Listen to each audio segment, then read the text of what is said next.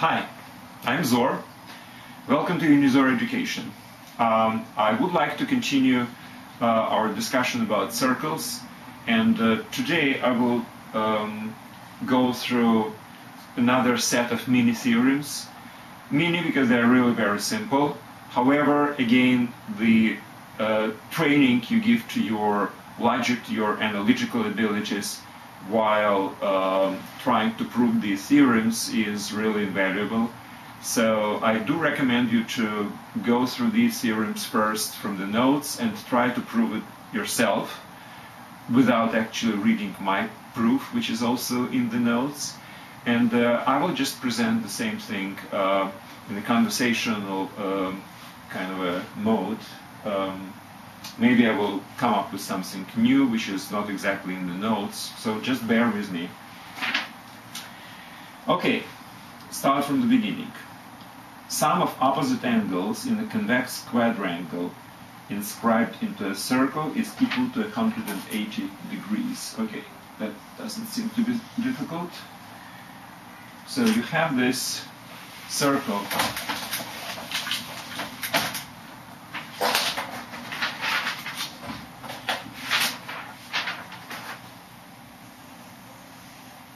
and a quadrangle inscribed in it, a convex quadrangle. Okay, now we have to prove that sum of opposite angles is equal to 180 degrees. Well, as you know, any um, inscribed angle in the circle and angle ABC, for instance, is inscribed, is equal to half of the central angle, which is supported by the same arc. Now, in this case, arc is this. It supports the angle ABC. So what's the central angle? It's this one. This is the central angle which corresponds to the same arc. Now, opposite to this angle is this, a DC. Now, it's supported by this arc and angle, central angle, which is supported by the same arc is this one. Now, it is obvious that these two arcs are actually making a full circle and these two central angles uh, in sum give you 360 degrees. So these two angles in sum, since each of them is half of the corresponding angle, this is half of this angle and this is half of this central angle, so their sum is 180 degrees. Now, uh, analogously, sum of these two angles also is 180 degrees because arcs are this one and this one. And again, they together give you the full circle. So this is simple. Now next theorem is inverse and it says if sum of the opposite angles of a convex quadrangle is equal to uh, 180 degrees, then it can be inscribed into a circle, which means that if you will take, let's say, any three vertices of this quadrangle and uh, and have a circle around these three points, the, the fourth point, the fourth vertex, will be on that circle. So that's what I'm going to prove. So I have uh, a quadrangle, and I know that the sum of opposite angles is 180 degrees. Now, how can I prove that you can um, draw a circle around all, all, all, four points? Okay, let's assume that you cannot. So let's assume that these three points which you are using uh, are not actually making a circle which is going through the fourth point, which means the fourth point is either outside or inside of that circle. So let's consider two cases. For instance, that the fourth point is outside. So this is our triangle, uh, quadrangle, sorry. Now, I know that sum of the opposite angles is 180 degrees. And I would like to prove that this is impossible. All right, let's connect this line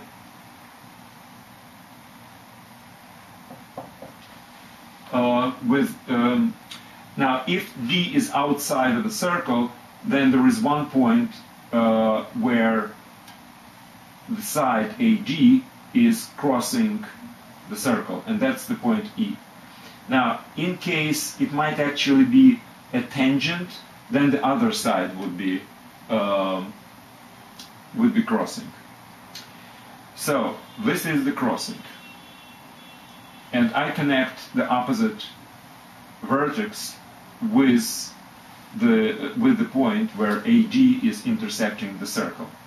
Now, let's consider this uh, quadrangle ABCE.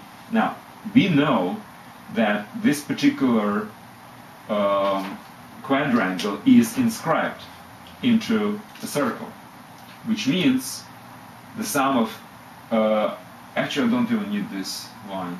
So we know that the sum of opposite angles is equal to 180 degree, which means this and this angle together gives 180 degree. But now let's consider this triangle ECD. This is exterior angle. That's why it's equal to a sum of this plus this. So it's definitely greater than this angle. So if this plus this is 180, and this one is greater than this, then B plus G angles are supposed to be less than 180, which contradicts our initial assumption that the whole quadrangle has uh, opposite angles, sum of opposite angles equal to 180 degrees. So the point D cannot be outside of a circle. Now, let's consider another case. For instance, it's inside the circle. Is that possible?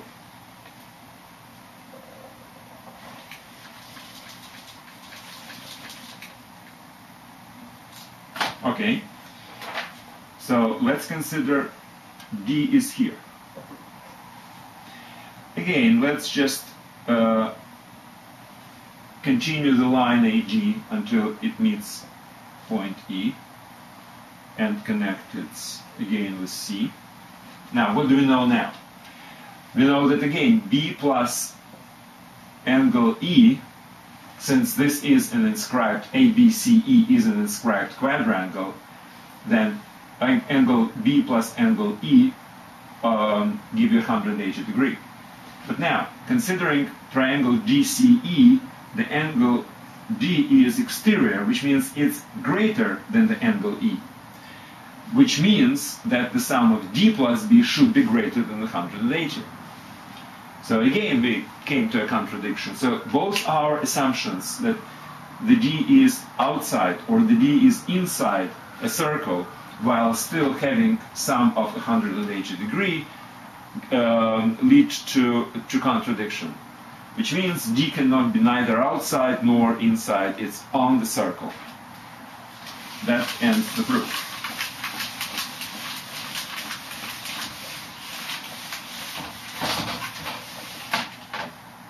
All right. Next. Well, next uh, are two very simple consequences from this uh, theorem. The consequence number one, if you have a parallelogram, can the parallelogram be inscribed into a circle? Well, we know that the opposite angles are equal uh, in any parallelogram. Now, we also know that if it's inscribed into a circle, the sum of opposite angles must be equal only to uh, 180 degree, which means each one of them is 90. So the theorem is that among all the parallelograms, only rectangle can be inscribed into a circle, because with a rectangle we have two opposite angles equal to 90 degree, and equal to themselves, and that's why the sum is, is equal to 180, and this is a characteristic property of the inscribed quadrangle.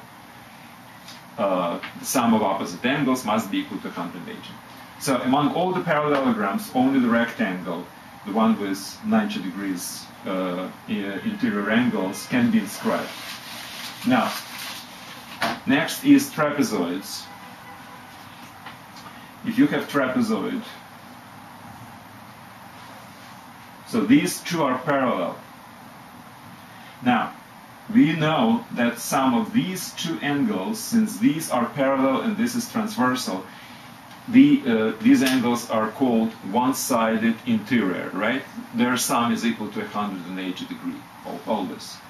Now, but we also know that the sum of the opposite angles of the inscribed quadrangle must be 180. So this plus this is supposed to be 180. Now, let's just think about it. This plus this is 180, and this plus this is 180. What does it mean? It means that these two angles are congruent to each other. Similarly, these two angles must be congruent to each other. So only trapezoids with two angles at each base uh, congruent to each other uh, can be inscribed into a circle.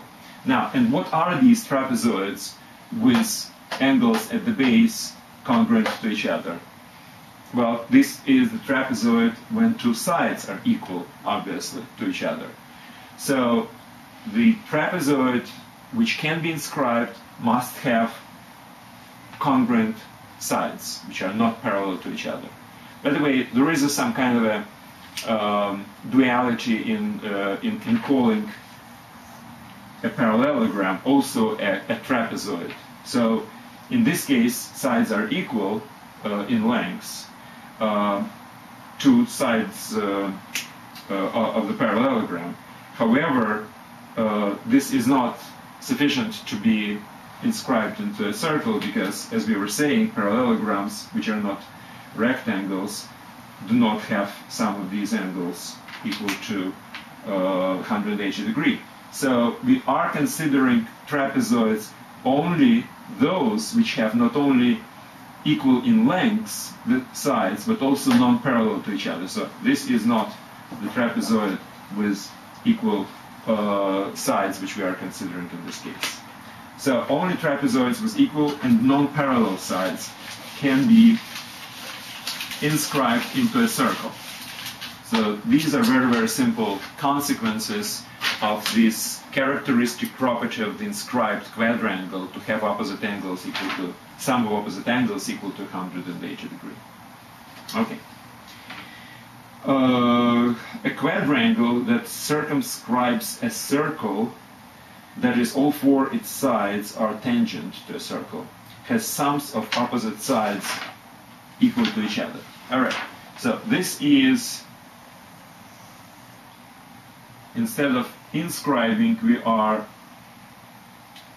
uh, circumscribing.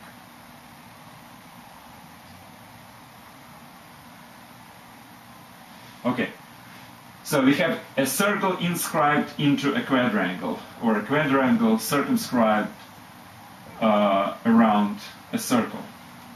Now, what, the, what the, this particular theorem says that the sum of the opposite sides is the same. Sum of AD plus BC is equal to sum of AD plus GC. How can we prove it? Actually, it's very easy. We know the theorem about a point and two tangents from it. And the theorem says that these tangents are supposed to be equal in length. Now, how can it be proven? Well, very easily. We know that the radius to the point of tangency is perpendicular to the tangent here and here. So these are two right triangles with equal catheti and uh, shared hypotenuse, so they are equal to each other, which means this is supposed to be equal to this.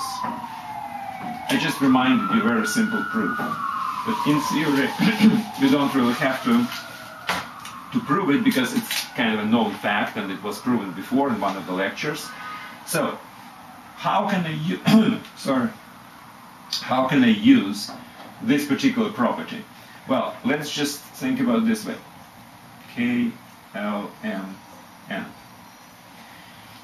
This is tangent, which means this particular uh, piece of that uh, of that tangent from A to K is congruent to this from A to M, because these are two tangents from one uh, point.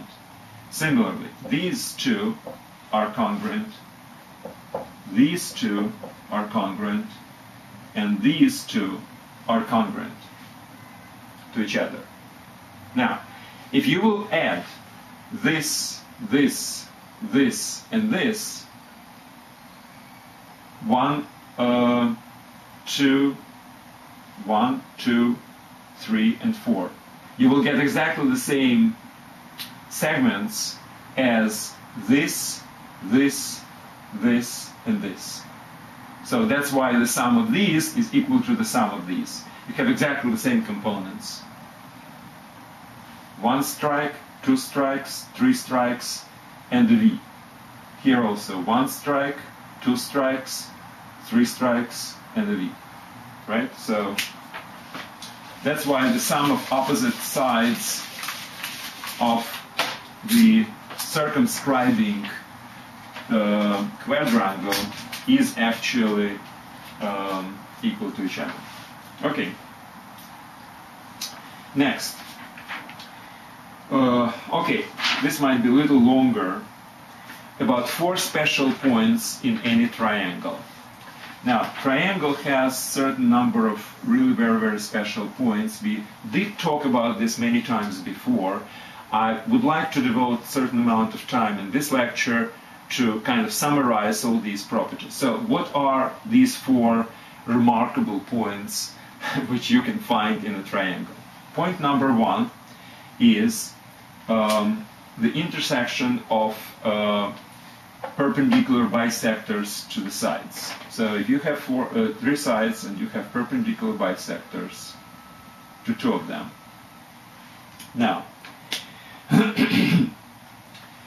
uh, first of all, why does this intersection exist? Well, obviously because these are not parallel, which means perpendiculars to non-parallel sides are also non-parallel to each other, and that's why they are intersecting. Um, they are not intersecting necessarily inside um, a triangle. They can actually intersect outside. If you have something like this, if you have perpendicular bisector 1 and 2, the intersection is outside. So, there is an intersection, that's number one. That's the property. Property number two. It's a center of a circle which circumscribes these uh, this triangle. Why? Because the uh, perpendicular bisector is a locus of points equidistant from two points. So this perpendicular bisector is locus of points equidistant from this, from B and C. So every point on this perpendicular bisector is equidistant from B and C. Now, this perpendicular bisector to the side AC is locus of points which uh, are equidistant from A and C.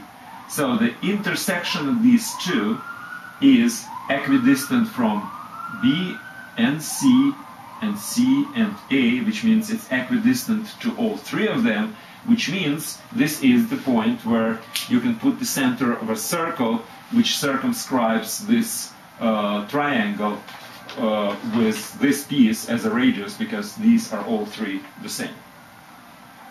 So the point uh, which uh, which is a center of circumscribed uh, circle can be found by using these uh, perpendicular bisectors. Um, now the question is. Um, why does the third perpendicular bisector, which is this one, is crossing these two in exactly the same point. Well, um, this doesn't seem to be as trivial as just the, the, the, one, uh, the statement which I made before about having one point equidistant from the O3. Um, and, and here is the logical uh, conclusion which you might actually see. Um, the first and the second uh, perpendicular bisectors, the bisector to BC and bisector to AC, are crossing in certain point, and uh, this is the only point which is equidistant from uh, from these two, from these three actually, from these three uh, uh, vertices. Now, if you consider that this third uh, perpendicular bisector is not actually going through this particular point. Let's say it's going through some other point. So what do we see right now? Well, this is the point which is also equidistant from, in this case, B and A, but also from uh, A and C, which means it's also equidistant from all three points, which means it's also supposed to be on, on this line, on, on the first uh, perpendicular bisector. So it looks like the first perpendicular bisector crosses the second perpendicular bisector first in the point where we were talking about the first time, and the second, it should actually go through this point as well. So since two different uh, lines cannot uh, intersect in more than one point, and this is probably the most important axiom which we are using here. Two lines, non-parallel to each other, can intersect only in one point. And that's why the third um, perpendicular bisector should actually go through the same point which we have already received by intersecting two other perpendicular bisectors. Because otherwise, it would mean that the lines are intersecting in more than one point, which is not good. Okay, so this is my first um, remarkable and very interesting and special point, a center of a circle which you can circum circumscribe around the triangle. It's on the crossing of all three uh, perpendicular bisectors to the sides. So that's circumscribed. Now, how about inscribed circle? Again, triangle. Now, if you have an inscribed, now what's the characteristic property of inscribed? It means that every side is a tangent, which means if I will put radius into each one of these three uh, points of tangency, these are three radiuses. And these are right angles. Right? And this must be an angle bisector. Why? Uh, because you have the this triangle and this triangle. You have radiuses which are the same, and you have shared hypotenuse. These are right triangles.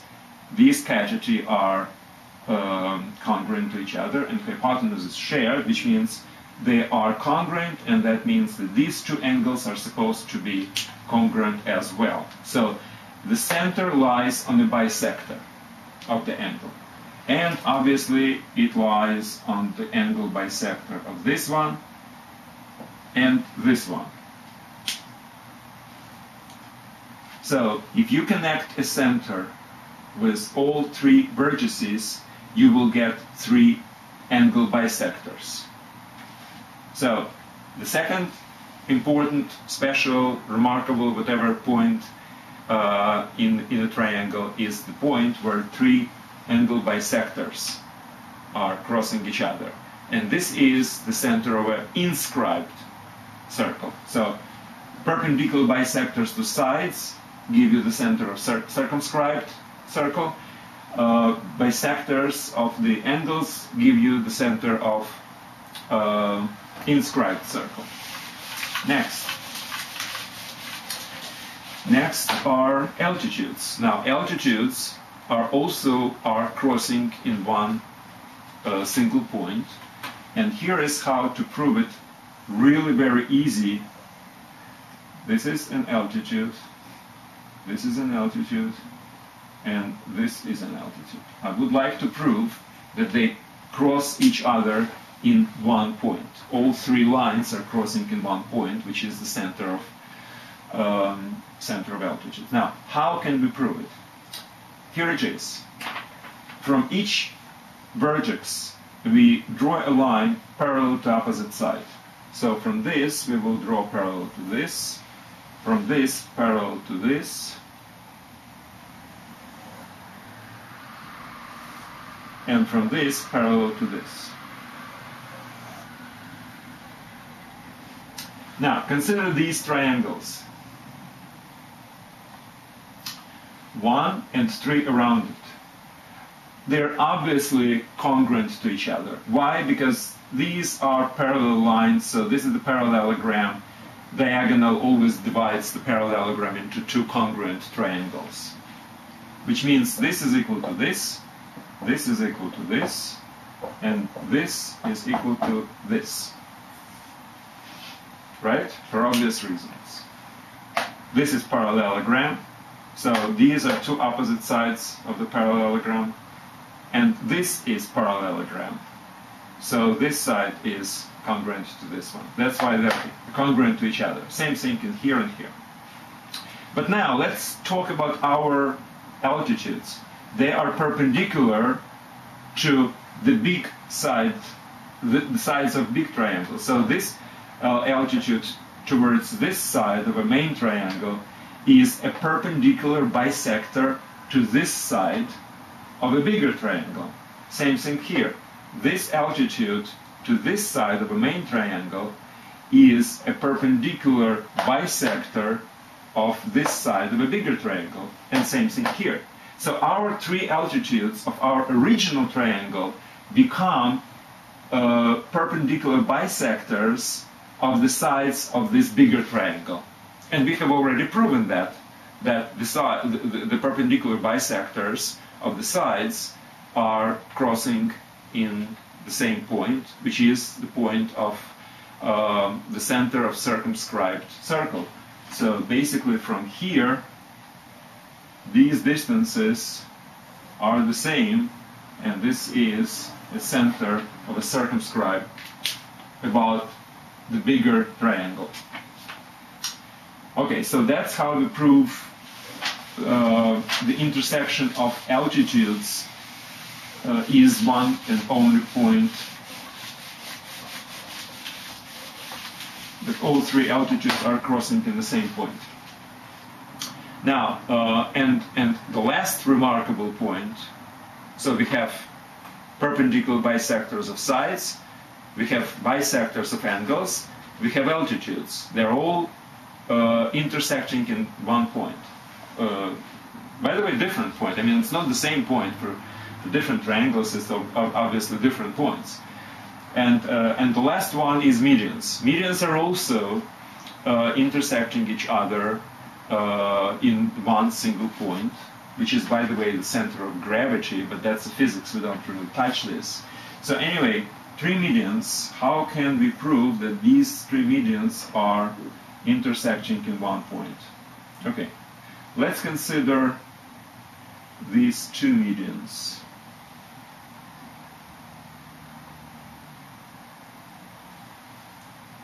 And the middle of that line. So we have ABC, we have MN, and I would like M, N, whatever, L.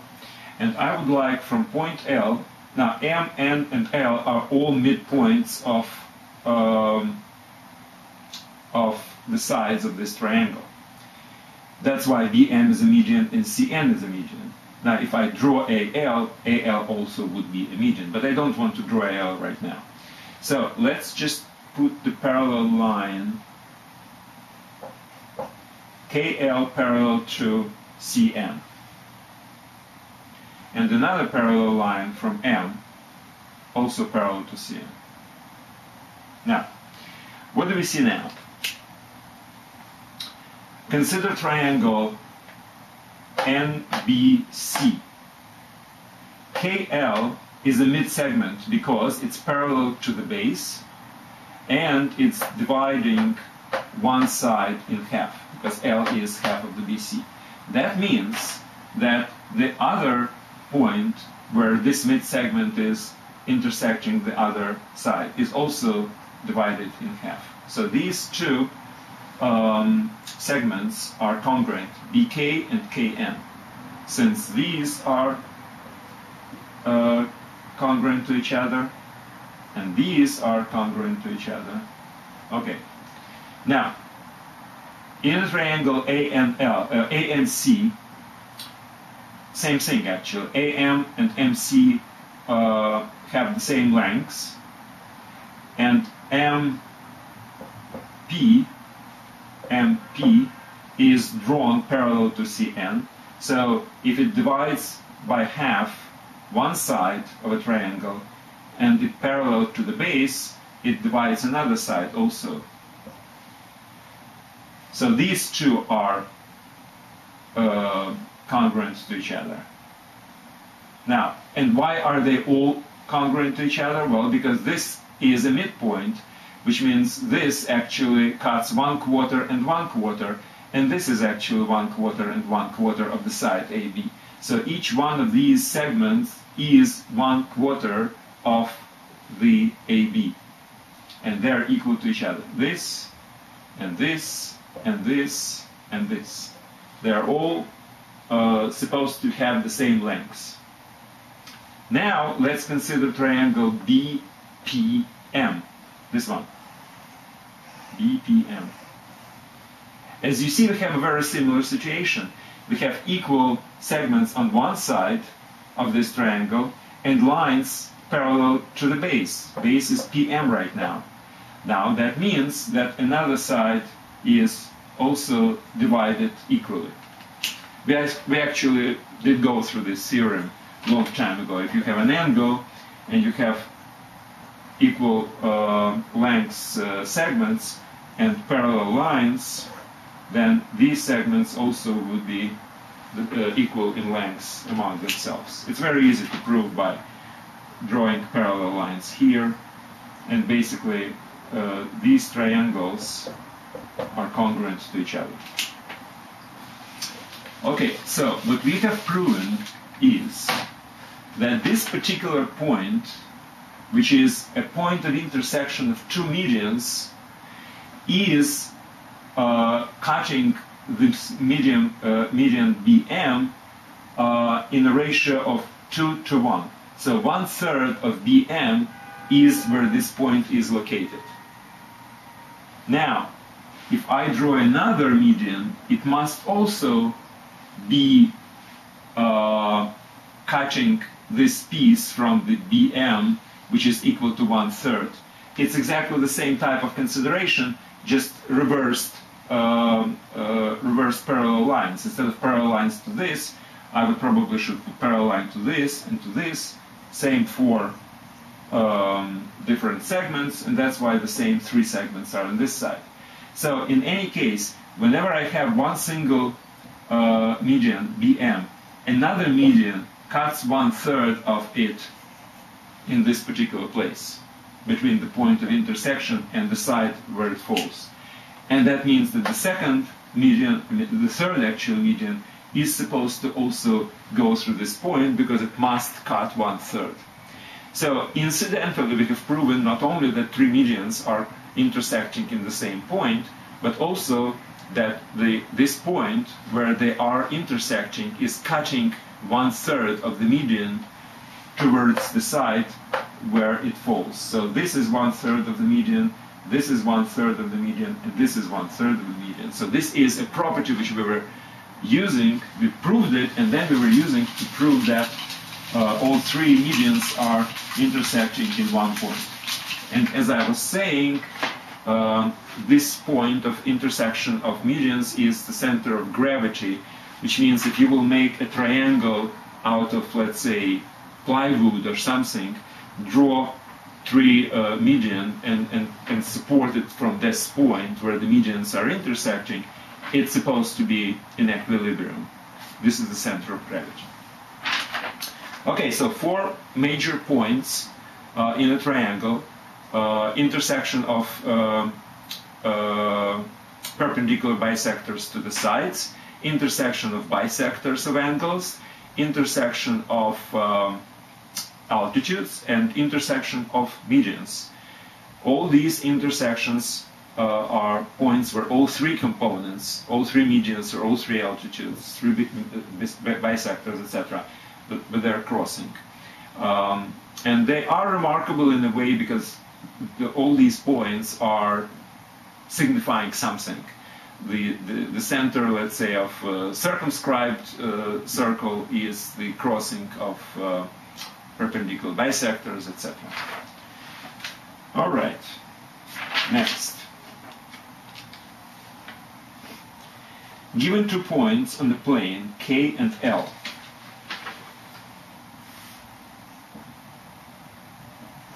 okay, consider all straight lines that contain point K. Let's say this line, this line, and this line, all of them. And perpendiculars to these lines from the point L. So perpendicular to this one is this perpendicular to this one is this. And perpendicular to this one is this. So, question is, points where these perpendiculars meet the corresponding lines, this point, this point, this point, and all other points, wherever and however we draw the line through K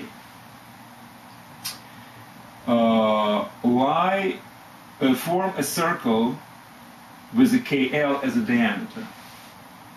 KL as a diameter. And they are all on the circle around this diameter. Okay. Question is why? How can we prove it? Well, actually, the proof is extremely uh, easy because you see, these are all right angles, right? Now you remember that right angle is always um, supported by the diameter of a circle if it's inscribed. So that, that alone actually should give you this type of uh, clue. But at the same time, it's very easy to prove that, you see, these right triangles. They're all right triangles. And right triangles, we have already proven many times, has a property that this um, particular point, the midpoint of a hypotenuse, is equidistant from all three, which means this distance is always equal to this and always equal to that. If you don't remember, you can actually try to um, to look at this and prove it yourself, actually. It's very easy. So basically, it means that the midpoint of this uh, KL is equidistant from this uh, as well as this as well as this because all these distances are equal to OK and OL. So they're all supposed to be on the same circle.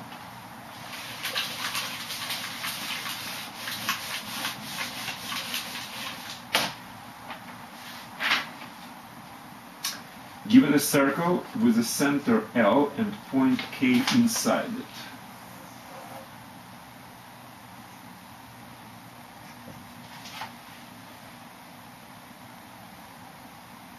Consider all chords that contain the point K.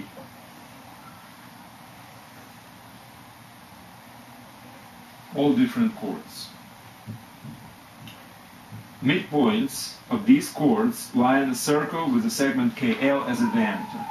Midpoint, right, but you know again that the midpoint connected to the center is always perpendicular uh, to this connection. Midpoint of another chord connected to a center is again perpendicular connection is radius is perpendicular to the chord. And here the same. So basically we have exactly the same situation as before.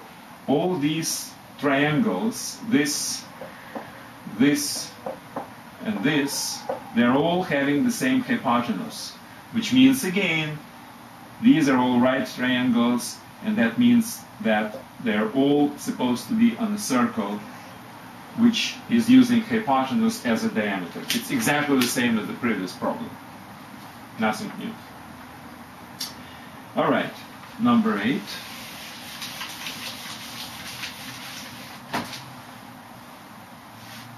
Given two circles tangent to each other,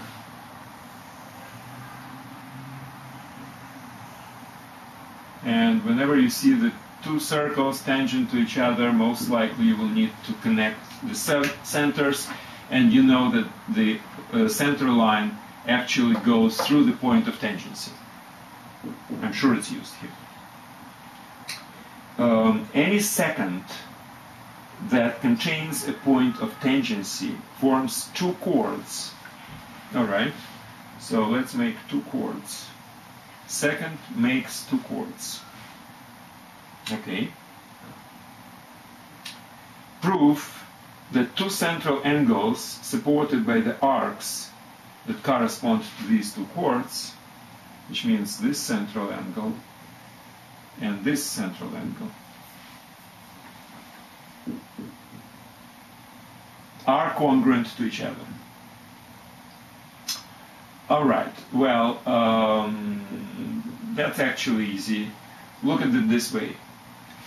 Now, since this is a line, one line, it's not angular, it's one line between two different centers and it goes through this point.